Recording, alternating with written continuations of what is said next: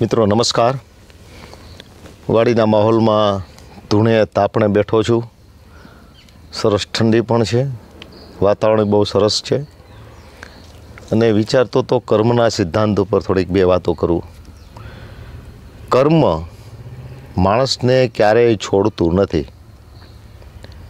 સારું કર્મ હશે, એનું ફળ મેળા વગર રહેતું નથી. અને ખરાબ કર્મ હોય એ માણસને ગમે ત્યારે ઝપટમાં લઈ જ લે છે, આંતરે જ છે. પોતાને મુશ્કેલી જીવનમાં આવે તો સમજવાનું નહીં કે હામાં માણસે કોઈએ મને મુશ્કેલી આપી. એનો કોઈ તોડ ગોતવાનો નહીં કે આ કેમ થયું, આ કોણે કર્યું, આ શા માટે કર્યું. એકચ્યુઅલમાં છે ને આપણે નજર કરીએ ને, તો એમાં આપણું ભૂતકાળનું કંઈક કર્મ હોય છે. કર્મ એટલે શું? આપણે એમ કહીએ કે આ બહુ ખરાબ માણસ છે.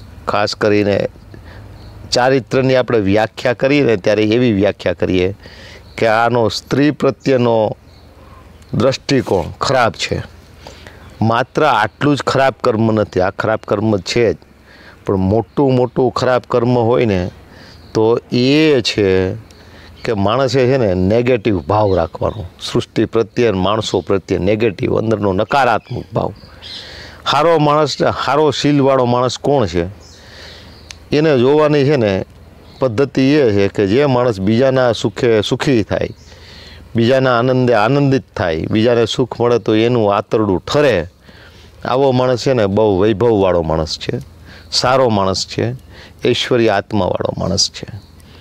અને જે માણસ કેટલાક માણસો એવા હોય છે કે માણસને તકલીફ આપવાથી એને કંઈક અનેરો આનંદ મળતો, એ વિકૃત આનંદ છે. આનંદ તો ન કહેવાય, એવું સુખ, વિકૃત સુખ. આમ હાયલો જતો હોય માણસ, તો વચ્ચે પગ રાખીને અને એને ઠેબું ખવડાવવું, એને પછાડવું. આવી એક વૃત્તિ હોય છે. ખબર નહીં શા માટે કેવી રીતની આવી હશે, એનું કદાચ પૂર્વનું છે કે એનું ઐશ્વર્ય, એનો આત્મો એકદમ મલેશ આત્મો છે. પણ મજા આવે એને. કરડવું, સતત કરડવું, સતત બીજાને તકલીફ આપવી, પરપીડન વૃત્તિ. ખાસ આ બહુ મહત્ત્વનું છે. પોઝિટિવ તમે રહીએ, રહ્યો. આપણે જેટલા પોઝિટિવ હશું ને, એટલું બધું જ પ્રકૃતિ આપણી સાથે સારું સારું કરશે. આપણને કોઈક સતત ટીક ટીક નોંધે છે. સતત આપણી કોઈ નોંધ લે છે. સતત આપણી કલમ ચાલે છે. ને એ કલમ જ કરમની કલમ છે. તમને મળે નહીં ને કાઢો આ આ મને દર્દનું કોઈ દવા મળતી નથી. ડૉક્ટરો પાસે જઈ આવ્યો. અથવા તો મારે આરે આવું કંઈક બન્યું તો એનો કોઈ આપણને તાળ મળે નહીં કે ભાઈ મારું કોઈ નથી ને છતાં આવી રીતનું કેમ કર્યું? ત્યારે સમજવાનું કે એ કરમની કઠણાઈ છે ભાઈ. એનું ક્યાંય શેડો મળશે જ નહીં. માણસ છું તો મારે માણસની જેમ રહેવાનું અને માણસની જેમ માણસની સાથે વ્યવહાર કરવાનો. મારી પાસે સત્તા છે, નથી, મારી પાસે પૈસો છે, નથી. હામાં માણસ પાસે પૈસો છે, નથી, એની પાસે સત્તા છે, નથી. છતાં એને માણસ ગણવાનો. એનું ક્યાંય વેર નહીં લેવાનું. સમય મેળો છે, તક મેળો છે, ચલો આને આપણે પજવી લઈએ. આવો દ્રેષ ભાવ છે ને એ માણસને બહુ અધપતિત કરે છે. આપણે છે ને એક ઓરા છે, ઓરા. આપણો એક વાઇબ્રેશનો છે, આપણું એક ઓજસ્વીતા આપણી છે. આપણે કેવા છીએ? આપણું માનસ વિજ્ઞાન કેવું છે? આપણો મનોમય કોષ કેવો છે? એની ઉપર આપણો ઓરા તૈયાર થાય છે આપણે ખાઈએ, પીએ ને જેની એની ઊર્જા બને છે ને મસ્તિષ્કમાં આવે છે ને, મસ્તિષ્કમાં આવ્યા પછી એ મનોમય કોષ થાય છે મનોમય કોષ થયા પછી આપણે એનો સંચય કરીએ, એનો સંગ્રહ કરીએ, તો એ શુક્ર ધાતુ, એ ઓરા ધાતુ બને છે. એ ઊર્જા બની જાય છે પછી. ઊર્જા એટલે આપણે આસપાસનું કવચ, આપણે આસપાસનો પ્રકાશ ને એ આપણું રક્ષણ કરે છે, આપણી સુરક્ષા કરે છે, સતત. આપણા વિશે કદાચ કોઈ ખોટી રીતે ખરાબ વિચારે તો આપણને લાગતું નથી, આપણા તરફ આવી નથી શકતું, આપણે અંદર ઘૂસી નથી શકતું. આવો માણસ એને તેજસ્વી માણસ કહેવાય. એટલે આપણા શાસ્ત્રોમાં લખ્યું છે કે ઓમ શાંતાય તેજસ નમઃ. એટલે કે તેજસ્વી માણસો છે ને, જે ઓરાવાળા માણસો, એને શાંત રહેવું જોઈએ. એને ક્યારેય ગુસ્સો ન કરાય, ક્રોધ ન કરાય, એને દ્વેષ ન કરાય, એને ક્યારેય આમ કોઈ ભાલો કોઈ તરફ ફેંકાય નહીં. પ્રકૃતિનો સિદ્ધાંત છે કે તમે આમ સ્વામી વિવેકાનંદ કહેતા આમ પથ્થર ફેંકો ને તમે અને જો ગુરુત્વાકર્ષણ ન લાગે, તો એ પથ્થર એક વખત તમારી પીઠ ઉપર આવીને પડશે. એટલે આપણે જે ફેંકીએ છીએ, એ ફરીથી આપણી પીઠ પાછળ જ આવે છે. પ્રકૃતિનો આ સિદ્ધાંત છે. કરેલું કરમ ફોગટ જતું નથી, કર્યા વગર કશું મળતું નથી, જે ગીતા સંદેશ છે. એવી રીતનું આપણું આપણને નડે છે. એટલે પોઝિટિવ હોઈએ અને જો કદાચ કોઈ ઉપર ક્રોધ થઈ ગયો, તો પણ મને નુકસાન એટલા માટે થાય છે કે મારું જે કવચ છે ને, એ પીંખાઈ ગયું, એ વિખાઈ ગયું. મારી જે સુરક્ષાની એક દિવાલ છે, કોઈ પણ તરફથી મને ખરાબ વિચારો, ખરાબ વાઇબ્રેશનો કે ખરાબ કોઈ શ્રાપ આવે તો મને લાગતો નથી એવી સુરક્ષા કરવાવાળી મારી એક કવચ છે, એક દિવાલ છે, અભેદ્ય દિવાલ છે, મારી પોતાની, મારા શીલની, મારા ચારિત્રની. ત્યાં ખાડો પડી જાય છે. ત્યાં બખોરું પડી જાય છે. ત્યાંની એક ઈંટ નીકળી જાય છે. કારણ કે ઈંટ મેં બીજે આમ મારી છે બીજાને. એટલે પોઝિટિવ માણસો હોય, સતત પોઝિટિવ વિચારે. એની સાથે ખરાબ કર્યું હોય ને, એનું પણ પોઝિટિવ વિચારતું હોય ને, એની સાથે ખૂબ સારો વ્યવહાર કરે છે પ્રકૃતિ. એને ઊંની આંચ નથી આવતી. એનો વાળ કોઈ વાંકો નથી કરી શકતો. આસપાસના ગમે એટલા દુશ્મનો આવી જાય ને, પણ એનો કોઈ વાળ વાંકો ન કરી શકે. આ અંદરનું છે ને, એનું આત્મબળ અદ્ભુત હોય છે. એનું ઐશ્વર્ય આત્મા, એ એને આસપાસ કોઈ ખરાબ પ્રવૃત્તિ કે ખરાબ માણસોને ટકવા પણ નથી દેતું. એટલે શીલ એટલે બીજું કંઈ નહીં અને કર્મ એટલે કંઈ બીજું કંઈ નહીં, પણ માણસને માણસ જેવો સમજવાનો, માણસની યારે સારું વર્તન કરવાનું, માણસની સાથે સારો વ્યવહાર કરવાનો માણસને ક્યારેય ફિટ નહીં કરવાનો, માણસને ક્યારેય બ્લેકમેલ નહીં કરવાનો, માણસને ક્યારેય એની મજબૂરીનો લાભ નહીં લેવાનો અને જેટલું બને એટલું એને મદદરૂપ થવાનું, જેટલી બને એટલી સેવા કરવાની. માણસ ભલે ને ગમે એવો હોય, તમે એકવાર આ એને સેવા કરશો, એને એને મદદ કરશો ને એ માણસ તો ભૂલી જાય પ્રકૃતિ કાયમી યાદ રાખશે. તમે એને ઘા કીરો હશે ફસાવ્યો હશે, તોય પ્રકૃતિ યાદ રાખશે એ કદાચ માણસ તમારું વેર ભૂલી જાય કદાચ. અને એનું ઉપર ઉપકાર કર્યો હશે તો કદાચ માણસ ભૂલી જાય, પણ પ્રકૃતિ હંમેશા આ યાદ રાખે છે. અને બીજી બાબત કહું કે સારા માણસની ક્યારેય રગડવી નહીં કોઈ દિવસ. સજ્જન માણસને ક્યારેય કારણ વગરનું, આમ તો કારણ હોય તો એ માણસને છે ને એને સજા હું કરવી, કેમ કરવી ને કેવી કરવી ને, એ આપણા હાથની વાત છે જ નહીં. કુદરતના હાથની વાત છે, ઈશ્વર છે. એ બધા પોતાના હિસાબો સરસ મજાના માંડે છે. એના ચોપડે કાંઈ ભૂલ નથી આવતી. એની પાસે જે આપણો ટેલીનો સોફ્ટવેર છે ને, એવો કોમ્પ્યુટરાઇઝ સોફ્ટવેર છે. ક્યાં એટલે ક્યાં એક તસુવારની પણ ભૂલ એનામાં હોય નહીં. સજા કરવાની થતી હોય એ સજા કરશે. આપણે સજા કરનાર છીએ નહીં. આપણે એનો કાનૂન હાથમાં લેવો નહીં. અને એક વસ્તુ કે જે ઈશ્વરનો કાનૂન પોતાના હાથમાં ન લેતો હોય ને આવા સજ્જન માણસોની કોઈ દી હળી કરવી નહીં. કારણ કે હામો માણસ એમ કહેતો છે ને કે મને જેણે નુકસાન કર્યું ભગવાન ઈસુ ભગવાન માનો કે. ભગવાન ઈસુએ શું કીધું કે આ માણસોને ભગવાન માફ કરી દે છે આ શું કરી રહ્યા એને ખબર નથી, એને માફ કરી દે. એટલે શું એના કહેવાથી ભગવાન એને માફ કરી દે ખરો? કોઈ દિવસ ન કરે. ઈસુ ભગવાન ભલે નહીં રહ્યા. એને એ એ કાનૂન એનો છે. માફ ન કરે. પણ આ સમયે પ્રકૃતિ છે ને એને મોટી સજા કરે. શું કામે? એવો માણસ કે જે તમારા પ્રત્યે નેગેટિવ નથી, તમને માફ કરી દે છે, બહુ સારો માણસ છે. એવા માણસને તમે જો કંઈ નુકસાન કરો તો પ્રકૃતિ છે ને એનો ફટકો બહુ મોટો મારે. એવો માણસ હોય કદાચ કે એ તમારી પાસે પાછું વેર લઈ લે. દ્રેશી રાગી ભયંકર માણસ હોય. ને એ તમારી ઉપર ઘા મારી લે પાછું એનો વેત આવે ત્યારે. એ ઘા મારી લીધો ને એમાં તમારે પતી ગયું, સસ્તામાં પતી ગયું. એ માણસે ઘા કર્યો છે. એ માણસનો ઘા ખમી અગાય. કુદરતનો ઘા કોઈ ખમી નથી અગતું એ ખાંધે ને ત્યાં તેર તૂટી જાય છે.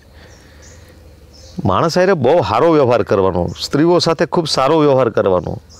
એક મારા મિત્ર, એણે લગ્ન થયા પછી ચાર મહિનામાં એના મિસિસને પાછી કાઢી. વાત એક જ હતી કે, ભાઈ તારો હાથ લલચકાય તારા હાથમાં કંઈક ખામી છે. હતી નહીં. ઓલી સ્ત્રી એવું કહે છે કે ભાઈ, મેડિકલમાં મને તપાસ કરીને મેડિકલનો રિપોર્ટ કરાવી લ્યો. કંઈ નથી. તો કે તારા મોઢામાં વાસ આવે છે. તને ઓલી છોકરી કે મને ડાયરિયા પહેલાં કાંઈક દાંત પડી ગયા તને એવું કંઈક થયું હતું તો કે એ એ થયેલું ભૂતકાળમાં. અત્યારે નથી. હવે આ સૌંદર્ય પ્રેમી માણસ, શરીર પ્રેમી માણસને એ સ્ત્રી ગમતી નહીં હોય. આવું બાનું કાઢીને કાઢ. આ કિસ્સાને નવ વર્ષ થયા. નવ વર્ષ પછી મેં એ માણસને જોયો. એને આ બાઈને હાથમાં તકલીફ હતી એવું એ માનતો હતો. અને આ માણસને ક્યાં નસ દબાડીને ખબર નહીં. એક આંખ છે ને એવી કેવી વિકૃત થઈ ગઈ. આપણે સામે બેઠો હોય ને એટલે આપણે આંખનો મારતો હોય. એવી રીતે આંખ બંધ થઈ જાય, ચાલુ થઈ જાય. સ્ત્રીઓ સાથે વાત કરવામાં પણ કેટલું પેલું લાગે એમને. કારણ કે બહુ ભયંકર મેં જોયો એ માણસને. અરે હાડું કુદરતનું તો જોવો હાડું કેટલું અદ્ભુત છે આમ આમ. એમ કહેવાય ને કે મર્ક્યુરી લેમ્પ રાખીને બતાવે ને એવો એવો આ સિદ્ધાંત છે. સમજાણું? અંધારામાંય દેખાય અંજવાડામાંય દેખાય, કુટુંબમાંય દેખાય, પરિવારમાંય દેખાય, ગામમાંય દેખાય, વિશ્વમાંય દેખાય, ગામમાંય દેખાય દેશ દેશ વચ્ચે દેખાય છે. અમેરિકા એક વખત જાપાનની ઉપર એટમ બોમ્બ ફેંકી દીધો અને કેવા માણસોને કીડી મકોડાની જેમ મારી નાખ્યા. એ અમેરિકાનો શ્રાપ કદાચ, આ જાપાનીઝનો શ્રાપ, ભલે જાપાનીઝનો વાક હશે પણ માણસોને મારીને ખુરદો બોલાવી દેવો, એનું પરિણામ અત્યારે અમેરિકા ઉપર ચાલુ થઈ ગયું છે. આ બધા વિશ્વ, આખું ઇસ્લામિક વિશ્વનો આતંકવાદ એને શાંતિથી રહેવા નથી દેતું. અંદરો અંદરનો કલહ ઊભો થયો છે. ઇંગ્લેન્ડે આપણી ઉપર આટલા વર્ષો શાસન કર્યું. ત્યાં એક ભારતીય માણસ ઋષિ સુનક, ત્યાંનો વડાપ્રધાન. હાડું કલ્પનામાં ન આવે. એટલે ક્યારે, ક્યાં સૂત્રો બદલે છે ને, કર્મનો હિસાબ કેવો છે? મોડું થાય થોડું ઘણું. દેરી હે, પર અંધેરી નહીં હે. થોડુંક મોડું થાય પણ સારું આવે છે આવે છે ને આવે છે. એટલે એકલા હોઈએ, અંધારામાં હોઈએ, જાહેરમાં હોઈએ, સત્તા હોય, બીજો માણસ મજબૂર હોય, પણ છતાંય ક્યારેય કોઈનો લાભ લેવો નહીં, ક્યારેય આત્માને તકલીફ પહોંચાડવી નહીં ક્યારેય શરીરના ક્ષણિક સુખની અંદર લેપાઈ ન જવું અને સતત અને સતત ટીક ટીક ટીક, ટીકની જેમ આપણને કોઈક નોંધે છે, આપણને કોઈક ગણે છે, એ હિસાબ કિતાબ ફરીથી થાય છે, ત્યારે બહુ કાંઠા પડે છે એ ખાંધી જ્યાં તેર તૂટી જાય છે, એટલે કર્મના સિદ્ધાંતને બરાબરનો આત્મસાત કરવો અને સરસ મજાની આવડી સૃષ્ટિ મળી છે. આટલા બધા વિષયો મળ્યા છે. ભોગવવા માટે, આપણા માટે ભગવાને આ સૃષ્ટિ, આ નદી, આ નાળા, આ પ્રકૃતિ, ચંદ્ર, સૂર્ય, તારા, આ બધું નિર્માણ કર્યું છે. આને આપણે માણીએ તો આપણે કોનો દ્રેસ કરવાનો અને કોને ઠેબુ મારવાનું? શું કામે? આવે જ હું કામે? મેં તો બહુ બહુ આમ નજીકથી જોયું છે. કે તમારી પાસે આત્મબળ એક હોય ને અને આત્મબળ તમારી પાસે સારું શીલ હોય ને તો જ ટકે. આત્મબળ હોય ને ભાઈ, તો કોઈના બાપની તાકાત નથી કે તમારો વાળ વાકો કરી શકે. તમારે છે ને સચ્ચાઈ માટે, નૈતિકતા માટે, તમારા ન્યાય માટે તમારે જે કરવું એ કરો, જે બોલવું એ બોલો, જેની સામે પંગા લેવા હોય લ્યો. બસ અંદરનું શીલ ને અંદરની આધ્યાત્મિકતા હશે ને, તો આધ્યાત્મિકતાથી મોટું બળ કોઈ છે જ નહીં. ગમે એવો માણસ આવશે ને તો એ એને એને એને હંફાવી દેશે. કોઈ આપણે જેડ સુરક્ષા કહીએ ને એવી, જેડ સુરક્ષા જેવી સુરક્ષા આપણી કરે છે કુદરત, સારા માણસોની, સજ્જન માણસોની, શીલવાન માણસોની. એટલે મિત્રો, ક્યારેક એવું થઈ ગયું હોય, તો પણ દરિયા પાસે જઈને અગ્નિ પાસે બેસીને આપણા શાસ્ત્રોએ કીધું છે કે પ્રાયશ્ચિત કરી દેવાનું. લખી નાખવાનું કે ભાઈ, ભગવાન આવું થઈ ગયું છે મારાથી. માફ કરી દેજે મને.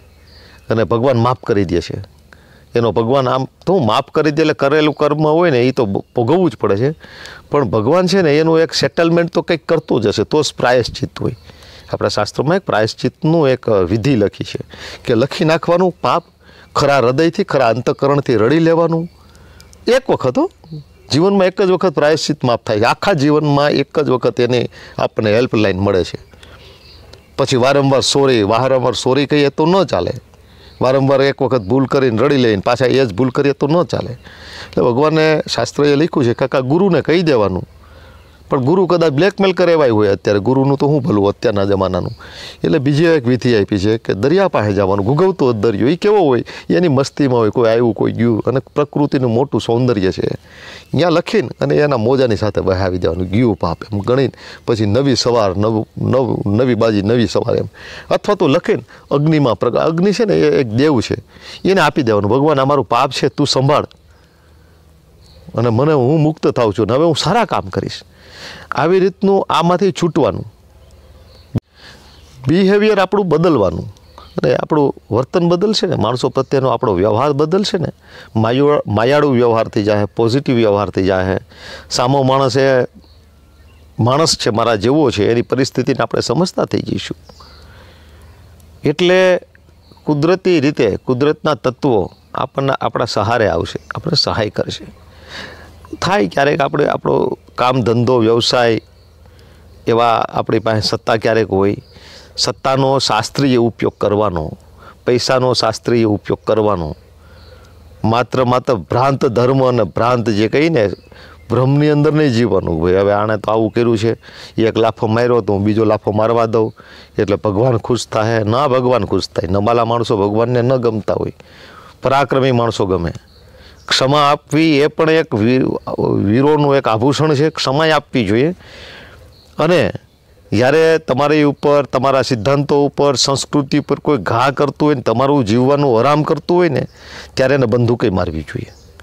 શાસ્ત્રોને વાંચીએ આપણે. આ સ્મૃતિ ગ્રંથો, શ્રુતિ ગ્રંથો, એટલા અદ્ભુત આપણને બધું, બતાવે છે. શુક્રાચાર્યની નીતિ રાજનીતિ કેવી હોય, રાજા કેવો હોવો જોઈએ, સત્તા ઉપર બેસેલા માણસે કેવી કેવી બાબતોનો ખ્યાલ રાખવો જોઈએ. એટલી બધી અદ્ભુત બાબતો લાગે આપણે ત્યાં આપદ ધર્મશાસ્ત્ર આપ્યું છે. આપણને એમ લાગે કે ધર્મ યાને પાપ કીણું છે. આવું ન કરવું જોઈએ, આ રસ્તાની ના પાડી છે, મનાઈ ફરમાવી છે. તો આપદ ધર્મમાં એવું હોય કે તું ક્યાં બેઠો છું ભાઈ? તો તને તારા માટે છૂટ છે, તારે એ રસ્તો અપનાવવો જોઈએ. એટલે અદ્ભુત આપણું શાસ્ત્ર છે, અદ્ભુત આ બધી કર્મની થિયરીઓ છે. મિત્રો, વાંચી લેવી જોઈએ. આમ તો વાંચીએ નહીં તો નજરો નજર દેખાય છે. ગામડામાં, પરિવારમાં, કુટુંબમાં, બધી જ જગ્યાએ મેં વાત કરી એમ દેખાય છે, અનુભવાય છે. અરે આપણા નજીકના માણસો હોય ને એને એમાંય જોવાય કે આ માણસ એક વખત આવો હતો. એક વખત આમ થઈ ગયું. એક વખત માણસ બીજાને ઘા કરતો હતો. આજે એ માણસની ઉપર, પોતાની ઉપર ઘા આવે છે. એવા જ. અને આડું એવું છે ને કે જે માણસ જે પોસતો હોય ને, એ જ મારતો હોય છે.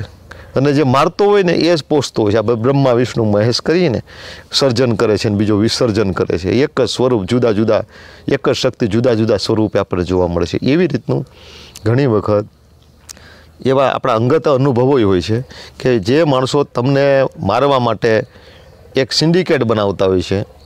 તમને તમારો અસ્તિત્વને હાનિ કરવા આટુંથી એ સિન્ડિકેટ બનાવતી હોય છે બે પાર્ટીઓ. એ જ પાર્ટીઓ બાખડી પડે છે. અને એ પાર્ટીઓ તમારી હારે જે કરતા હતા ને એવા હામ હામા કરવા લાગે છે. અને એકબીજાને એવું નુકસાન કરે છે કે એ લોકો તમને નુકસાન નથી કરી ગયા અને બીજું ઘણી વખત એવું નથી કે આપણે આપણને લપડાકો લાગે એ બધી ખરાબ જ હોય ને આપણા કર્મના સિદ્ધાંતો આપણી હોય. ઘણી વખત સારું પણ કરતો હોય છે, કુદરત. કોક આપણું ખરાબ કરે છે, એવું લાગે આપણને કે આપણું ખરાબ કરવા આવ્યો છે.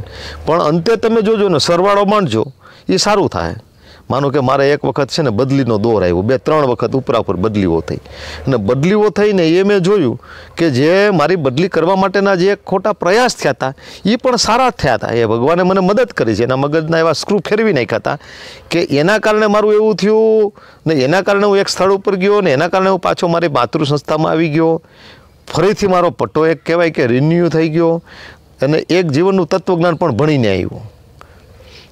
અને માણસ જ્યારે છે ને, માણસની હારે વ્યવહાર કરતો હોય છે ને, ત્યારે એક માણસ જેવો વ્યવહાર ન કરે અને ક્યાંક એની સત્તાનો કે ક્યારેક એનો લાભ લેતો હોય છે ને, ત્યારે એનું પરિણામ એ આવે જ છે એની ઉપર. આપણે એવો શ્રાપ ન દીધો હોય ને તો કારણ કે એ કર્મનો સિદ્ધાંત છે ને, ટીક ટીક ટીક ટીક જે લખાય છે એની અંદર જે પાછું ફરીથી આવે, એનો સમય આવે કે એના યક્ષ કર્મો આપણા હોય.